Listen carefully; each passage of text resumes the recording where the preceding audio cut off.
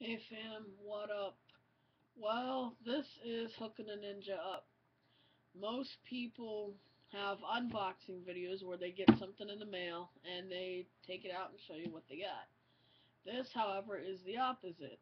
This is a boxing video, as in I'm going to be packing a box. I've actually already got some stuff in there, stuff that's uh, kind of harder to arrange.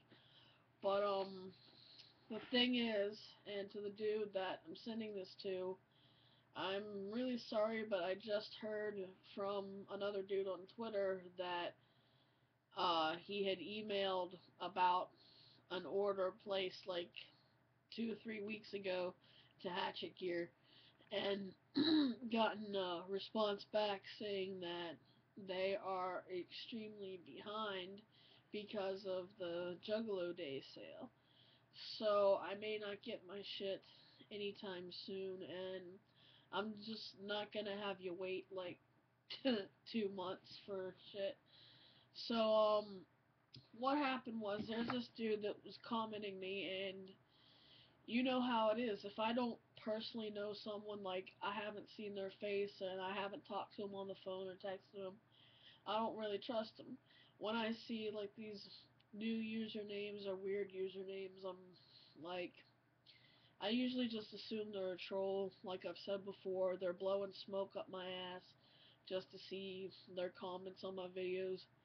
But um, this dude hits me up in a PM and asks uh, for my signature on something Twiztid related, and I'm like, at first I wasn't gonna respond. At first I was just like, it's gotta be a troll. But, I don't know, something caused me to respond and somehow it ended up a real deep conversation back and forth about his life and stuff that he's been through.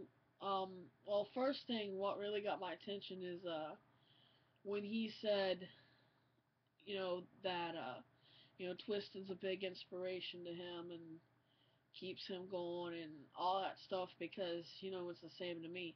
But this is one of the ninjas that doesn't have a lick of merch, just doesn't have anything, doesn't have any money, doesn't have any means. And, um, he's told me his whole life story and I just decided after a while that instead of just, you know, signing something and sending it to him, I'm gonna hook this ninja up so he actually has some shit for once. Because, you know, I, I believe that, you know, good, decent, honest people, you know, don't deserve to live a life completely deprived of any sort of happiness and stuff. So, um, what's in here right now is actually ramen noodles from the uh, Korean store because he had mentioned how he likes uh, mama noodles or however you pronounce it. It's M A M A, and um, I have like several different ones. There's like Indomie. There's the Mi Lao Thai that I told him was real good, and um, I don't know some other shit. I can't remember all this, but I'm hooking this ninja up.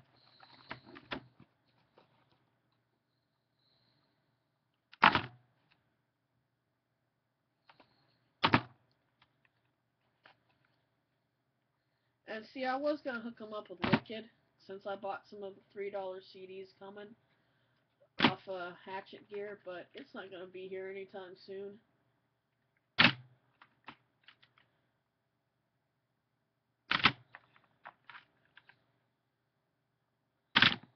But yeah, now let me just get these back in here the way they were.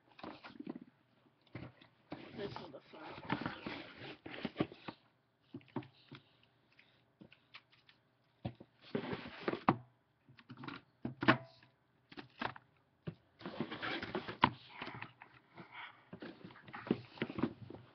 And they're comfortably down there. But I like to leave a little bit of mystery.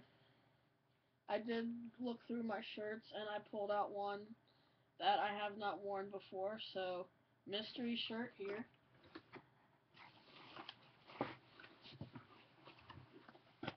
and a little extra, something special.